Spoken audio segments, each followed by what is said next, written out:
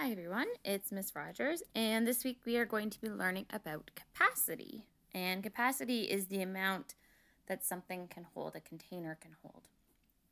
And so I hope you enjoy this story, and it'll give you a little bit of introduction to what capacity is. Okay, let's go. Have you ever played with damp sand, packed it into a pail, and made a sandcastle? Why does the sand take the shape of the pail? A water bottle, a jar, a thimble, a cup, and a pail are all containers. Containers hold things. Inside a container, there is a space. The space inside a container can hold solids, liquids, or just air. Here are some containers. If you filled each of them with water, can you guess which one will hold the most and which will hold the least? It is sometimes easy to guess which containers will hold the most water when they are different sizes. It is much more difficult to guess when the containers almost look the same. Guessing can be difficult. Which of these two containers holds the most? We must measure to find out.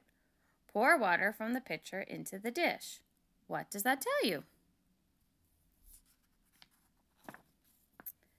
Now collect some empty containers. Can you tell which one will hold the most water and which will hold the least? We do not have to use water. We can use sand or marbles instead. The sand fills all the space in the glass. Do the marbles fill all the space? You're right, I can see a little bit of space there. Standard measures are important. Those are like the ones that we have on measuring cups and teaspoons. The ingredients for a cake have to be mixed in the right quantities. Garden fertilizers have to be carefully measured.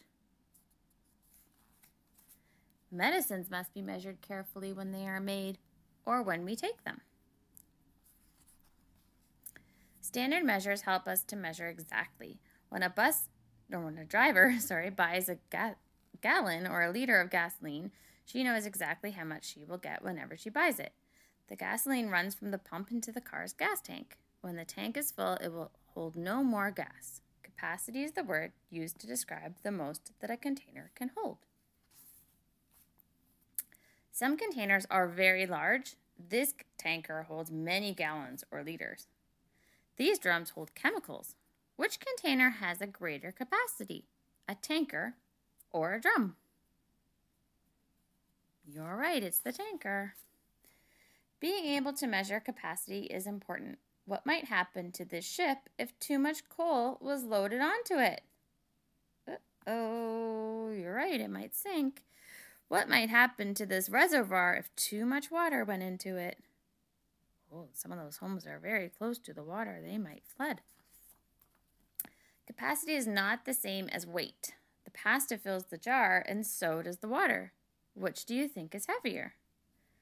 Capacity is a word we use to describe space, even when the space is empty. So if your container has things in it or your container doesn't have things in it, it still has the same amount of capacity. I hope you have a good time reading this story, and I will see you later.